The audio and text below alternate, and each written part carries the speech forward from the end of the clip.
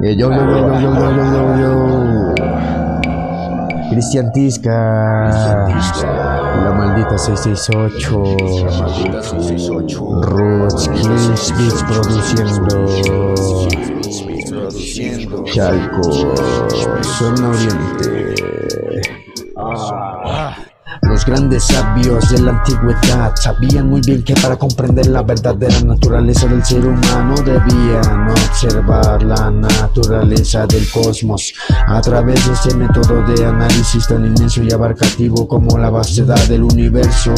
Entendemos que arriba y abajo son solo referencias subjetivas que no tienen anclaje donde situarse desde la perspectiva del infinito.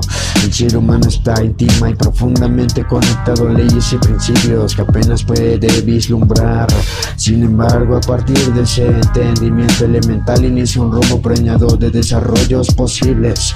Nuestro cuerpo es una réplica antropomórfica de algo que existe más allá, algo que no podemos ver, oler ni sentir, pero que podemos percibir como la energía formadora y esencial que le da la vida a todo lo que existe.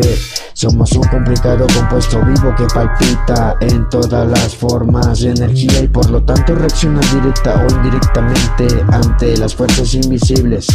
Restablecer la conexión natural con el cosmos nos puede abrir un camino de sabiduría personal y espiritual, así como también la posibilidad de transcurrir de forma más ordenada dentro de la realidad. Cuanto más sujetos estamos a los hechos, cuanto más intentamos causar la impresión correcta, tanto más nos alejamos de lo fundamental. Al escribir uno debe crear una superficie que cambie continuamente al dictado de la sensibilidad contemporánea frente a la estabilidad del estilo clásico. En eso consiste la obra en marcha. Lo que importa, sin embargo, no es lo que uno escribe, sino cómo lo escribe. A mi entender, el escritor moderno debe ser ante todo un aventurero y estar dispuesto a correr cualquier riesgo y a fracasar en su empeño si hace falta. Dicho de otro modo, debemos escribir peligrosamente. Todo tiende a transformarse hoy en día y la literatura actual solo será valiosa si es cierta reflejar esa inestabilidad. Escribo, escribo, pienso y pienso solo.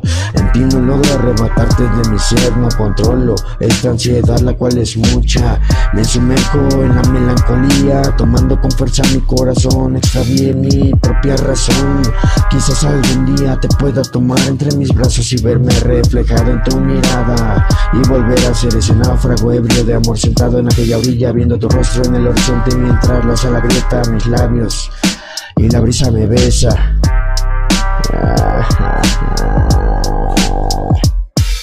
Chalco, zona oriente, Roots, Kills, Beats produciendo, la maldita 668, Cristian Tisca.